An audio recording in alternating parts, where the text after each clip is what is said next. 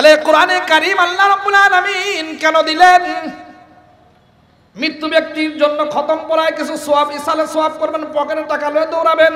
এজন্য আল্লাহ তাআলা বললেন লিতুনদিরা মান কানা হাইয়া। হে নবী, আমি আপনাকে কিতাব দিলাম। এই কিতাব কেন? লিংদিরা মান কানা হাইয়া। লিতুনদিরা মান কানা হাইয়া।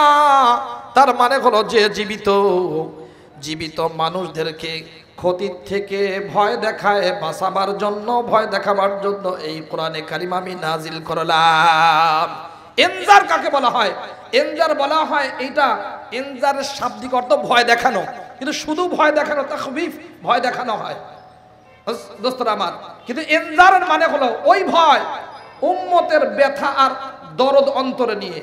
উম্মতের মায়া আর মহব্বত, দরদ, ব্যথা অন্তরে নিয়ে তাদেরকে সকল ক্ষতি থেকে বাঁচাবার জন্য ভয় দেখানো, এইটাকে বলা হয় এনজার। এজন্য বলছেন হে কম্বলওয়ালা কুম আপনি উঠেন। ফাআনদির, উম্মতকে ভয় দেখান। তার মানে হলো, এরা সবাই জাহান নামের দিকে রওনা করেছে। এই দুনিয়ার সামান্য ক্ষতিরা সহ্য করতে পারে না। আখেরাতে এই জাহান্নামের আগুন, কবরের শাস্তিরা সহ্য করতে পারবে না। এই বিষয়ে আপনি উম্মতকে ভয় দেখান। আপনি দাওয়াতের ময়দানে যান। দোস্তরা আমার এই জন্য আল্লাহ রাব্বুল আলামিন বলে দিলেন নাস মিনাদ দুলুমাতি ইলান নূর আল্লাহ রাব্বুল আলামিন বলে দিলেন, হে নবী, আমি আপনাকে এত সুন্দর কিতাব আপনার উপর নাজিল করলাম। কেন কেন? নূর। আপনি সব মানুষদেরকে সব ধরনের গুনার অন্ধকার থেকে বের করে আলোক উজ্জ্বল ইমানের পথে, জান্নাতের পথে বের করে আনবেন। এই মহান লক্ষ্যকে সামনে নিয়ে আমি আপনাকে এত বড় কিতাব দিলাম। বুঝেন, শব্দ বুঝেন। লিতুখরিজান্নাস কারিম এই কিতাবের মাধ্যমে সব মানুষকে বের করে আনবেন। কয়জনকে বলেন না? সব মানুষকে। আন্নাসের মধ্যে যে আলিফলাম আছে, এরা সবাই জানে, পিচ্চিরাও জানে। আমাদের এখানে যারা নাহবিবির হেদায়তুন নাহু যারা পড়ে, এরাও জানে এটা। কিন্তু আপনারা কইতে পারবেন না এটা। এই জন্য আপনারা জানেন, কিছু কিছু পরিভাষা আমি ব্যবহার করলাম। এরা আলেমরা বোঝে, আমাদের এখানে যারা নাহবিবির হেদায়তুন কাফিয়া পড়ে, এরাও জানে। কিন্তু আপনারা বুঝতেছেন না। এটা ইচ্ছা করে আমি বলতেছি। কেন? আপনারা যেন বোঝেন যে কিছু বিষয় আছে এটা মৌলবীরাই বোঝে আমরা বুঝি না। বুঝেন? এখান থেকে যেগুলো সত্যিকার আমাদের জন্য দরকার এগুলোই উলামা একরাম কোনো লুকানো ছাড়াই আপনাদেরকে বলেন। কি বলেন ঠিক না ভাইরা আমার? এই জন্য খবরদার আলেমদের সাথে মোল্লার সাথে পাল্লা দিতে যায় না।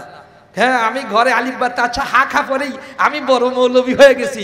বুঝতে হবে এর ব্রেনের মধ্যে ইবলিস হিসু করছে। কি কন ঠিক না? হ্যাঁ।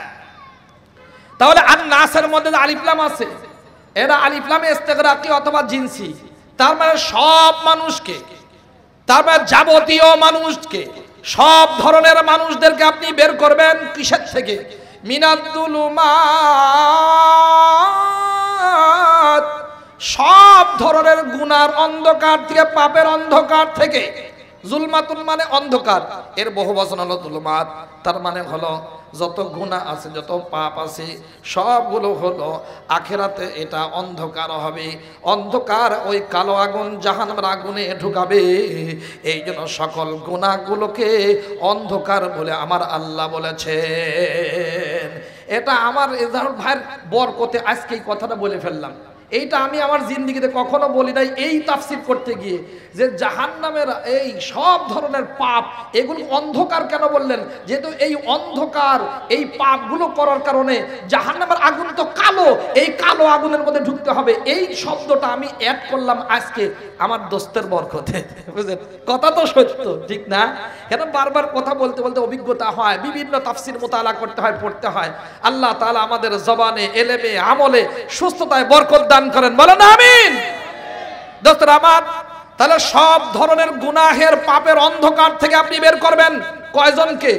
শুধু সরকারি দলকে, বিরোধী দলকে, সরমুনাইওয়ালাদেরকে তবলিকওয়ালাদেরকে আমাদের কাদিরিয়া তো এবার দোস্ত আব্বুজানদেরকে? না, যত মানুষ আছে দুনিয়াতে, সব মানুষকে আপনি কোরআনের মাধ্যমে সব ধরনের গুণার থেকে বের করবেন। আনবেন কোথায়? ইলান্নুর হেদায়েত এবং আলো জান্নাতের রাস্তায় আপনি বের করে আনবেন, সুবহানাল্লাহ কয় না। দোস্তরা আমার, চুরি করা এই পাপ, এটা আলো না অন্ধকার। এক কথা কয় না। দোস্তরা আমার, ডাকাতি করা এটা খুব ভালো কাম। আলো না অন্ধকার, কেমন অন্ধকার? এইটা মানুষের জীবনে অন্ধকার নামিয়ে আনে, কি আনে না বলেন? ঘুষ খাওয়া এটা খুব আলো, ঠিক না? হ্যাঁ? ঘুষ খাওয়া ফকিন্নির বাচ্চার মতো এরকম হাত তল পাতে। ট্রাক ড্রাইভারের কাছে। পাতে কি পাতে না? অফিসার হয়ে অবিচার করে। মনে হয় ওর মা ছিল ফকিন্নি ওর দাদি নানি ফকিন্নি। তা না হলে বেতনের টাকার পরিবর্তে ও আবারও হাত তুলে কলম ঠেকায় যারা ঘুষ খায়। বুঝতে হবে ওদের অবশ্যই পূর্বপুরুষ ফকিন্নি ছিল কি বলেন ঠিক না ভাই আমার এত বড় খবিস। দোস্তরা তাহলে সুদ খাওয়া, ঘুষ খাওয়া, সাদাবাজি করা, রডের পরিবর্তে বাঁশ দিয়া, তেল আর গম আর টিন চুরি করা, এটা কি আলো না অন্ধকার? কথা কয় না? মোনাফেকি করা, এটা খুব ভালো জিনিস। এটাও অন্ধকার। শিরিক করা, এটা আলো না অন্ধকার। কুফুরি করা, আলো না অন্ধকার। মিথ্যা কথা বলা এবং খারাপ ধারণা করা, রাগ করা, মানুষ দেখাবার জন্য ইবাদত বন্দি করা এবং হিংসা করা, অহংকার করা, এই যে দশটার কথা বললাম, এই সবগুলো আলো না অন্ধকার। এই সব অন্ধকার থেকে বের করবেন কোরআনে কারিমের মাধ্যমে। সব অন্ধকার থেকে বের করে আনবেন কোথায়? ইলান্নু আলোর দিকে আনবেন। আলো মানে হলো ইমান আলো মানে হলো হেদায়েত, আলো মানে হলো জান্নাতের রাস্তা, সুবহানাল্লাহ কয় না। দোস্তরা আমার, এর দ্বারা প্রমাণ হয়, আমি যদি আমার সন্তানকে আলোকিত সন্তান বানাতে চাই, সমাজ বিরোধী, রাষ্ট্র বিরোধী, ইসলাম বিরোধী যদি বানাতে না চাই, আমার সমাজ যদি সকল দুর্নীতি মুক্ত করতে চাই, আমার সমাজ, আমার রাষ্ট্র, আমার অফিস, আমার আদালত, আমার বিচার মন্ত্রণায় সব জায়গায় যদি আলোকিত মানুষ আমরা চাই, আর সন্ত্রাস মুক্ত হলে কোরআনে কারিমের আলো গ্রহণ করা ছাড়া দ্বিতীয় কোনো কিতাব আমাদের সামনে নাই। তার মানে হলো অপুজান ভালো করে বুঝেনি আমি যদি আমার সন্তান থেকে খেদমত চাই, আমার সন্তান মুরব্বীদেরকে শ্রদ্ধা করুক মাদক আসক্ত না হোক সমাজ বিরোধী রাষ্ট্র বিরোধী না হোক দোস্তরা আমার অফিসার হয়ে অবিচার না করুক এবং বাংলাদেশের থেকে চুরি করে বিদেশে না পাঠাক। এই রকম যদি আমার সন্তান চাই আমার সন্তানকে কোরআনের আলোর দ্বারা আলোকিত করতে হবে। কোরআনে কারিমের আলোর দ্বারা যদি আমার সন্তানকে আলোকতি করতে ব্যর্থ হই, তাহলে সুদখোর ঘুষখোর, করপশনকারী, এইটা কখনো কমানো যায় নাই, যাওয়ার কোনো সম্ভাবনা নাই। এই জন্য আমার হজরত বলেছেন, কাপাসিয়ার হজরত প্রিন্সিপাল অধ্যক্ষ মিজান রহমান চৌধুরী সাহেব গত মাসের বিশ তারিখে হাজার হাজার মানুষের সামনে দুঃখ করে বলেছেন, আমরা অনেকেই এমন আছি, মনে করি আমি তো পাঁচ অক্ত নামাজ জামাতের সাথে পড়ি মাশাল্লাহ চিল্লা তো লাগাইছি চল্লিশটা মাশাল্লাহ বড় পীরের মুড়িদ আমি। অথবা যেভাবে আমি জিকির করি আর তেলাবাদ করি, তাতে শুধু মরা বাকি, মরার সাথে সাথে জান্নাত রেডি এইরকম কিছু মানুষ এরকম আছে। হুজুর, আমি নামাজ পড়ি। মনে হচ্ছে মুসলমানের শুধু নামাজ পড়াই দায়িত্ব, আর কোনো দায়িত্ব নাই। কিরে ভাই, ইসলাম কি শুধু নামাজ পড়ার নাম? ইসলাম পাঁচটা জিনিসের নাম বলেন না কয়টা?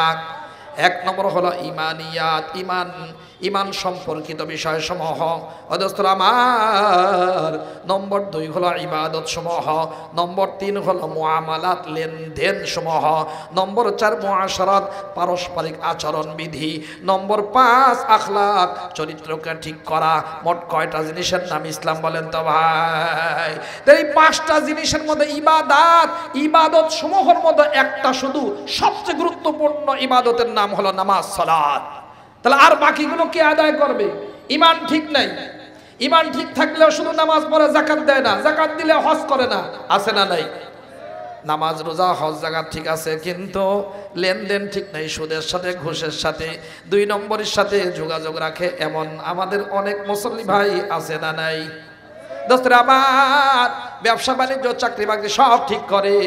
কিন্তু দেখা যায় ওখানে মানুষের সাথে আচরণ ঠিক নাই।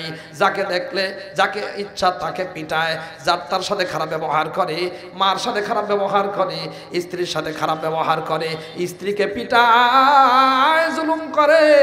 মানুষের সাথে খারাপ আচরণ করার মতো মানুষ আমাদের বাংলাদেশের রাজধানীতে, ঢাকায় আছে না নাই? আপনাদের বিজলি মহল্লায় নাই না? কারণ আমি তো বিজলি। বিজলি মানেই তো হলো এটা বিদ্যুৎ। তার মানে বিদ্যুতের মতো আপনারা সব স্বচ্ছ আলো, না? না, আমি জান্নাত বাঘ। এত সুন্দর নাম কারা যারা দিছে আল্লাহ? কি? জান্নাত বাগ জান্নাত মানেই তো বাগান। আবার বাগ তার মানে ডবল বাগান। তার মানে এখানকার মানুষ কখনো কোরআনের আলো থেকে দূরে থাকতে পারে না কি বলেন ঠিক না ভাইয়ের আমার? জান্নাত বাগের বিজলি মহল্লার মানুষ যদি কোরআনে কারিমের আলো থেকে দূরে থাকে, কোরআনের আজমত, মহব্বত যদি অন্তরে না থাকে, কোরআন বিশুদ্ধ তেলাওয়াত যদি না জানে, কোরআনের তর্জমা যদি বুঝতে ব্যর্থ হয়, কোরআনে কারিমের উপরে যদি আমল না করে, কোরআনের দিকে যদি না ডেকে কোন ব্যক্তির দিকে যদি ডাকে, তাহলে এদেরকে এই অঞ্চলের ভালো বসবাসকারী বলা হবে না। বলা হবে না জান্নাত বাগের অনুপযুক্ত দুই নম্বরই বাসিন্দাকে বলেন, ঠিক না ভাইয়ের আমার? হ্যাঁ যুবকদের কপাল ভালো, ওদের জন্য দোয়া করবেন স্পেশাল দোয়া। ওরা ইচ্ছা করলে আজকে অন্য কোনো অনুষ্ঠানও করতে পারতো পারতো না? দে যাত্রা প্যান্ডেল, দে গানের অনুষ্ঠান, হতে পারতো কি পারতো না? কিন্তু আল্লাহর কি মেহরবানি? আপনাদের যুবকেরা এই সুন্দর ব্যবস্থা করেছে।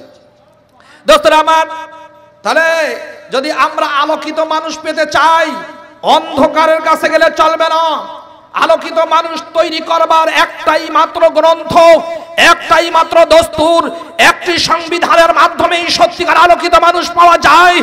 ওই কিতাবের নাম, ওই সংবিধান, ওই দস্তুর কনস্টিটিউশনের নাম এটা অন্য কোনো নাম নয়। এর নাম আল্লাহর কালাম। কি বলেন ঠিক না ভাইয়ের আমার? আল্লাহর কালাম। কানবেন কোথায়? কালি তুখরিজান্নাস মিনাদ-দুলুমাতি ইলান-নূর। বিইذনি রাব্বিহিম আপনি ইচ্ছা করলে কি আপনি সব, হে নবী, আপনি কি কোরআনের মাধ্যমে সব মানুষকে সব ধরনের গুণার থেকে বের করে আলোক উজ্জ্বল ইমানের পথে, জান্নাতের পথে আনতে পারবেন? আমি আল্লাহর চাওয়া না হইলে হবে না। বিzni রব্বিহিম আল্লাহর অনুমতি লাগবে। কেন? হেদায়েত কোনো মানুষের হাতে নয়। হেদায়েত কার হাতে বলেন ভাই? হেদায়েত কোনো ফেরেশতার হাতে নাই? হেদায়েত করার নবীর হাতে নাই, পীর সাহেবের হাতে আছে। হাদিয়া দিলেই পীর সাহেব জান্নাতে পৌঁছায় দেবে। কথা কয় না? আল্লাহ রাব্বুল আলামিন তার নবীজি সাল্লামকে বললেন, এত বড় নবী, এত বড় ইমাম, এত বড় মর্যাদাশীল, এত বড় ইমাম অতীতেও কখনো আসে নাই, এখনও আসার সম্ভাবনা নাই। ওই নবীজিকে আল্লাহ তাআলা বলেছেন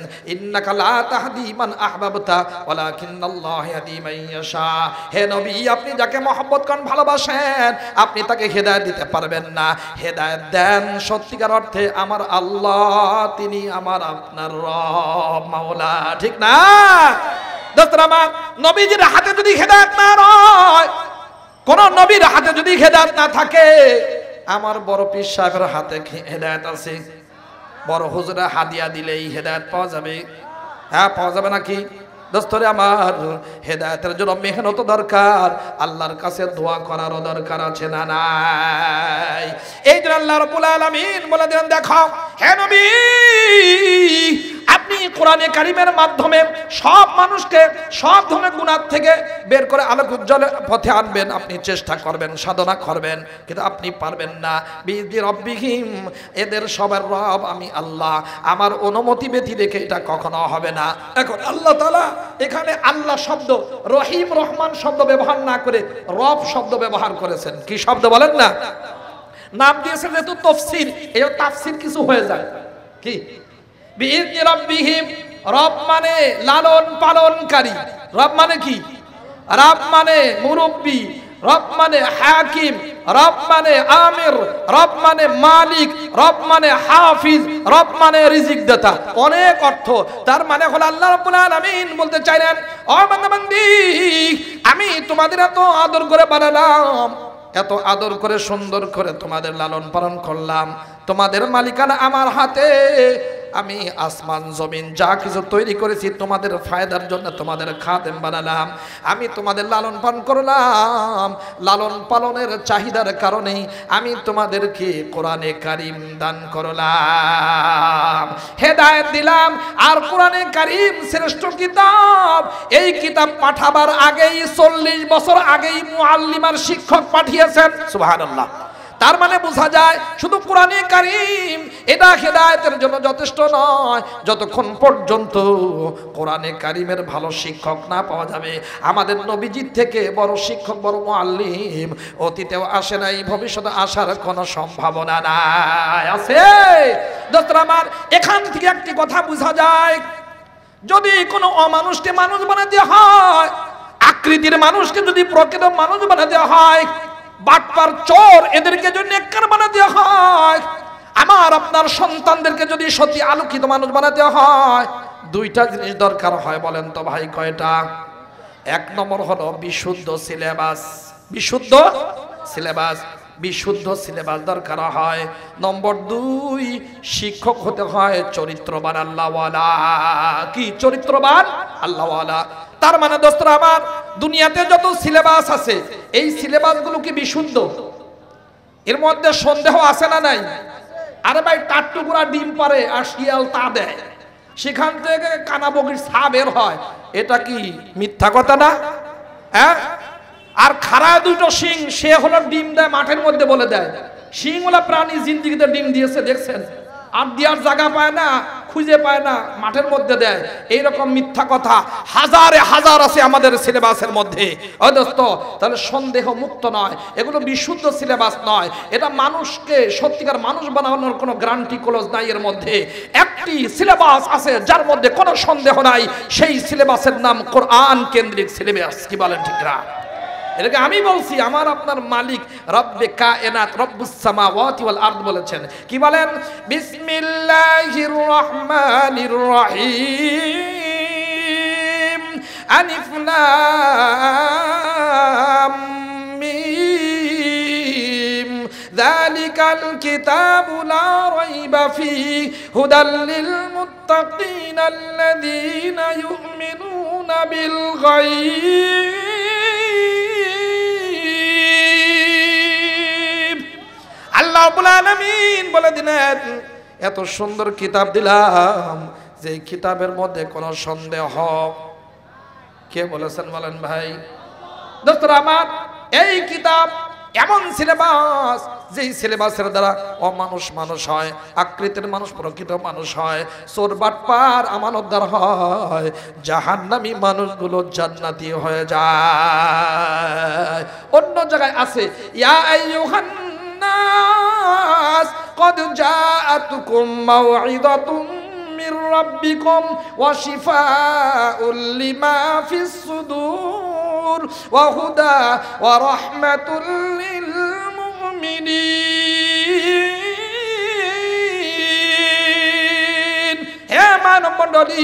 তোমাদের কাছে আমা- আল্লাহর পক্ষ থেকে, রবের পক্ষ থেকে ওয়াজ আসছে, ওয়াজ নসিহাত। এক নম্বর কোরআনে কারিমের নাম হলো মাওয়াইজা নসিহাত। নম্বর দুই, শিফা। শিফা কিসের শিফা? কিসের আরোগ্য দান করবি? লিমা ফিস সুদর। অন্তর মধ্যে যত সন্দেহ, যত কুফরি, যত শিরিকি যত লৌকিকতা, যত হিংসা, যত অহংকার, যত মুনাফিকি, যত ধরনের শিরিক কুফর আছে, সবগুলোর থেকে কোরআনে কারিম শিফা দান করবে। তার মানে হলো ওই ব্যক্তি পুরাপুরি ভালো হয়ে যাবে। নম্বর তিন, কোরআনে কারিমের গুণ হুদা রাস্তা দেখাবে। ডানের রাস্তাও না, বামের রাস্তাও না, জান্নাতের রাস্তা দেখায়। সুবহানাল্লাহ করে না। আর কি? আর রহমাতুল লিল মুমিনিন। কায় কোরআনে কারিম হলো ইমানদারদের জন্য রহমত বলেন না কাদের জন্য? তার মানে হলো আমরা রহমত চাই। কিন্তু রহমতের কাছে যেতে চাই না। আমরা যদি রহমত চাই, তাহলে কোরআনে কারিম গ্রহণ করা ছাড়া রহমত পাওয়ার দ্বিতীয় কোনো রাস্তা খোলা নাই। আছে? এখন কথা হলো দোস্তর আমার, এই যে কোরআনের রাস্তা, আলো, হেদায়েতের রাস্তা, ইসলামের রাস্তা, মাদ্রাসায় এবং মাহফিল, যত কিছু রাস্তা আছে, মূলত কার রাস্তা? বলেন না বলেন না, কার রাস্তা এটা? এই জন্য বলছেন, ইলা সিরাতিল হামিদ এরা হলো মহাপ্রক্রমশালী ওই প্রশংসিত আল্লাহর রাস্তা। তার মানে আজিজ কাকে বলা হয়? আজিজ বলা হয় পরাক্রমশালী, যাকে আক্রমণ করে কখনো পরাজিত করা যায় না। আমার আল্লাহর সাথে যারা পাল্লা দিতে এসেছে, তারা ধ্বংস হয়েছে। আমার মালিক এখনও আছেন না নাই। তার মানে আল্লাহ রব্বুল আলামিন বলতে চান, আমাকে কেউ পরাজিত করতে পারে নাই, আমার, আমাকে পরাজিত করতে কেউ পারে না এবং আক্রমণ করে কেউ আমার সাথে পারে নাই। যেহেতু আক্রমণ করে যাকে পরাজিত করা যায় না ওই মহাপরাক্রমশালীর দিকে, এই রাস্তার নিসবত এই রাস্তার ইজাফত, এই রাস্তার সম্বন্ধ। তার মানে বলতে চান, ও বান্দাবান্দি, আমার আমার আমার নবীর উম্মতেরা শুনে রাখো, আমাকে যেমন পরাজিত করা যায় নাই, আমার সাথে এই কোরআনের সম্পর্ক, আমার সাথে ইসলামের সম্পর্ক, আমার সাথে এই মাদ্রাসার সম্পর্ক, আমার সাথে কোরআনওয়ালাদের সম্পর্ক, আমাকে যেমন পরাজিত করা যায় নাই, সারা পৃথিবীর সবাই যদি ষড়যন্ত্র করে কোরআনের শিক্ষাকে বানচাল করতে চায়, ইসলামকে যদি দাবাতে চায়, তাহলে কোনো দিনও এটাকে পরাজিত করা সম্ভব হয় নাই, হবে না। বুঝেন? তার মানে যেই আসবে কোরআনে কারিমের শিক্ষাকে বিলুপ্ত করবার জন্য সাদ্দাম বিলুপ্ত করেছিল, সেও থাকে নাই, তার দেশের স্বাধীনতাও থাকে নাই। মোহাম্মদ গাদ্দাফি মাদ্রাসা বন্ধ করে দিয়েছিল। অদস্ত সেও বাঁচে নাই, তার দেশের স্বাধীনতাও থাকে নাই। আমরাও যদি আমার দেশের স্বাধীনতা রাখতে চাই, সত্যিকার সমানতা রাখতে চাই, উন্নতি, অগ্রগতি, সমৃদ্ধি, সর্বদিক থেকে যদি আমরা উন্নতি লাভ করতে চাই, কোরআনে কারিমের প্রতিষ্ঠান, কোরআনে কারিমের সাথে সম্পৃক্ত হওয়া ছাড়া দ্বিতীয় কোনো রাস্তা আমাদের ইজ্জতের জন্য আর খোলা নাই, কি বলেন ঠিক না ভাইয়ের আমার? এই জন্য এই ছেলেরা এখানে মহল্লায় কোরআনে কারিম শিক্ষার জন্য ছোট্ট একটা প্রতিষ্ঠান করছে। যে এলাকার সব যুবকেরা, সব বুড়া বাবাজিরা, এরা যেন আল্লাহর কালামটা সহি করে পড়ে। অজস্ত তাহলে এইটার বিষয়ে সহযোগিতা করা যাবে কি যাবে না? কোরআনের মাস আসতেছে সামনে। এই মাসে আমরা নিয়ত করে নিই, আমরা কোরআনে করিম নিজে শিখব। এক নম্বর বিশুদ্ধভাবে, নিজেরা সহিভাবে বিশুদ্ধ তেলাবাদ শিখব। নম্বর দুই, আমাদের সকল সন্তানকে আল্লাহর কালামের নূর দ্বারা আলোকিত করব। রাজি আছেন ইনশাআল্লাহ? তবে মেয়েদেরকে পড়াবেন না, মেয়েদেরকে ইংলিশ মিডিয়ামে দিয়ে দিবেন, ঠিক আছে? Best mother, best nation. ভালো জাতি চাইলে ভালো মা দরকার। এই একটা কিতাবের নাম আছে, বইয়ের নাম। প্লিজ আপনার মেয়েকে নিয়ে ভাবুন। প্লিজ আপনার মেয়েকে নিয়ে ভাবুন। আপনার মেয়ে যদি ভালো হয়, আমার মেয়ে যদি সত্যিকার আল্লাহ বলা হয় আম্মাজান আয়েশার মতো চরিত্রবান মুহাদ্দিসা হয়, ও দোস্ত, তাহলে এর পেট থেকে যারা আসবে, এরাও সুসন্তান হবে। কখনো ভিক্ষুকের মতো ঘুষের জন্য মানুষের কাছে হাত পাতবে না, কলম দিয়ে কখনো দুই নম্বরই করবে না, কি বলেন ঠিক না ভাইয়ের আমার? এই জন্য আমাদের মেয়েদের বিষয়ে সচেতন হওয়া দরকার। আমাদের সব সন্তানকে আগে কোরআনে করিমের আলো দ্বারা আলোকিত করা এবং নিজেরাও কোরআনের আলো দ্বারা আলোকিত হওয়া।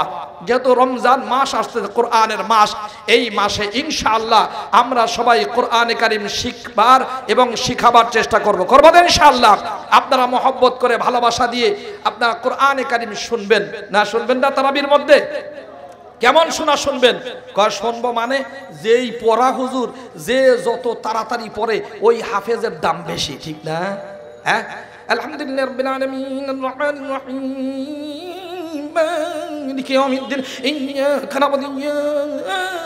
করতেছে। আরে, একই একই ধরনের পড়া।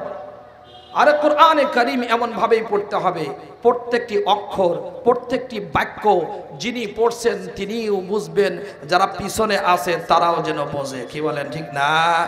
খবরদার, অস্পষ্ট তেলাবাদ শোনা যাবে না। এটা করা যাবে না। কোরআনে কারিমের সাথে দুই নম্বরই হবে। সুন্দর করে পড়বে। ইন্না আউওয়ালা বাইতিন